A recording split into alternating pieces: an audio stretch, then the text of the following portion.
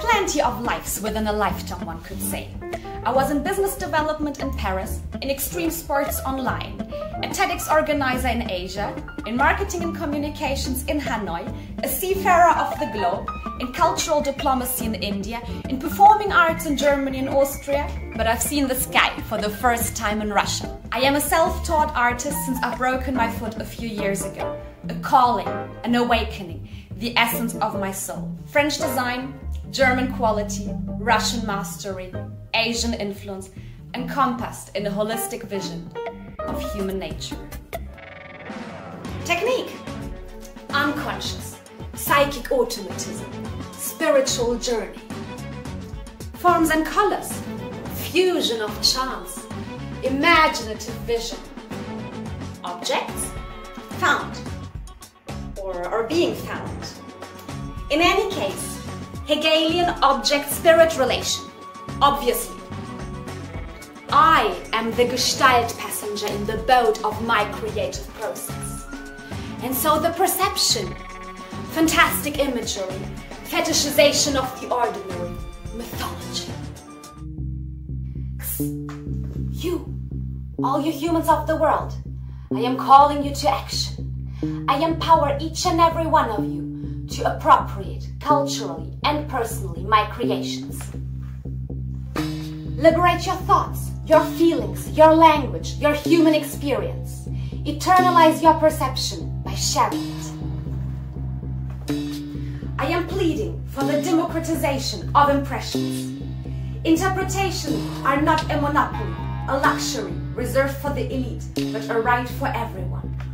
All cultures, all ethnicities, all religions, all skin colors, all social classes, all ages, all gender, all sexual orientations, all majorities and all minorities. I encourage you to take part in the movement of participatory surrealism. You don't know what is participatory surrealism? Don't worry. I will explain to you.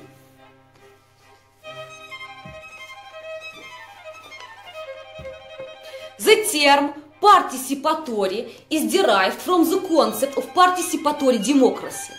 Demos, meaning all citizens living within a particular city-state, here the meaning has been expanded to all citizens of the world. Kratos, meaning power.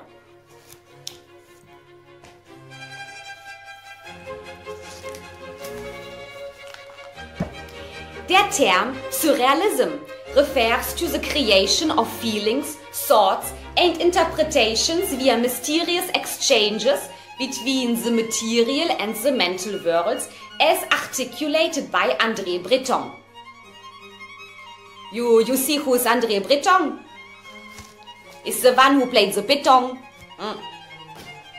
Hence, participatory surrealism implies that all citizens of the world are empowered to interpret my creations and that all thoughts produced, feelings evoked, and interpretations expressed are of equal value.